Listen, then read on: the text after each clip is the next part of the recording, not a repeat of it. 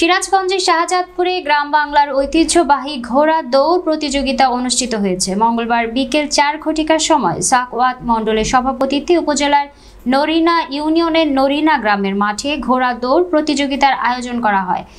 ঘোড়া দৌড় প্রতিযোগিতায় বিভিন্ন এলাকার পঁচিশটি ঘোড়া অংশ নেয়। দূর দূরান্ত থেকে পায়ে হেঁটে ও স্থানীয় যানবাহনে চড়ে শত শত নারী, পুরুষ ও শিশু ঘোড়া দৌড় খেলা দেখতে আসে।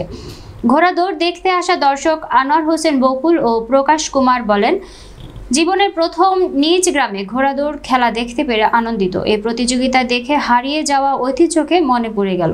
তবে এমন আয়োজন প্রতি বছরে হলেই ভালো।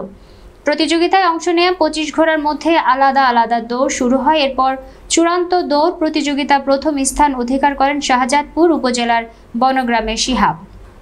এবং দ্বিতীয় স্থান অধিকার করেন উল্লাপাড়ার পূর্ব ধুলিয়া গ্রামের হিটলার। তাদের মাঝে অ্যান্ড্রয়েড মোবাইল ফোন ও সিলিং ফ্যান পুরস্কার তুলে দেন আমন্ত্রিত অতিথিরা।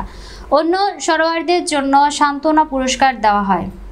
আয়োজক কমিটির সভাপতি নরিনা ইউনিয়ন আওয়ামী লীগের সভাপতি মোহাম্মদ ফজলুল হক বলেন, গ্রামীণ ঐতিহ্য টিকিয়ে রাখতে ও নতুন প্রজন্মের কাছে ঘোড়া দৌড় প্রতিযোগিতা পরিচিতি করতে আমাদের গ্রামে এই প্রথম ঘোড়া দৌড় প্রতিযোগিতার আয়োজন করা হয়।